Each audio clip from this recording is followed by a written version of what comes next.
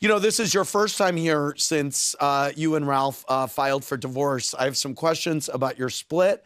Um, is there truth to the rumor that you two were racing to the courthouse to Oh, be first to file? Oh Lord.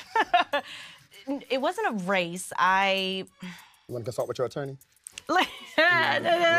make a phone call. No, no, no. It um I got to a point where enough was enough. Okay. And once he caught wind that I was planning to file, Right.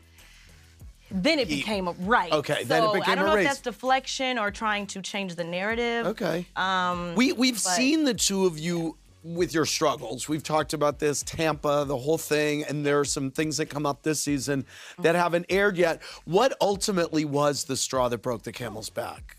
I think it was a culmination of Yeah. just the years of enduring. Right. um, and enduring. And as a wife, you know, my parents have been married for 60 years. So I only saw two people who loved each other Yeah. and constantly fought for their marriage. That's how I was raised. Um, but I think at a point when it's public humiliation and dealing with things that are now coming out in front of the camera, and uh, it was a breaking point that Yeah. I Um, how is your communication with Ralph right now?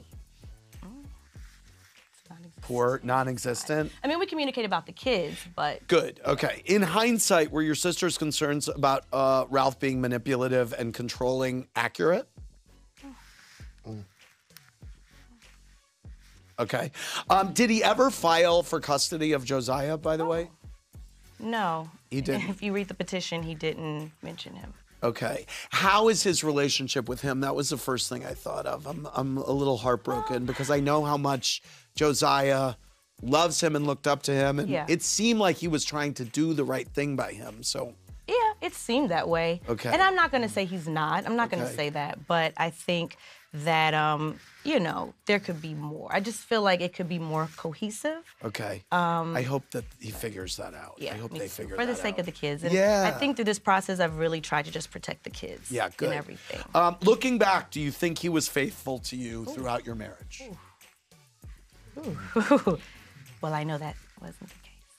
All right. Thank you very much. Thank you. Um, thanks for sharing. I, I know you don't want to. Thanks for watching. Watch more clips here and subscribe to our channel here. See ya.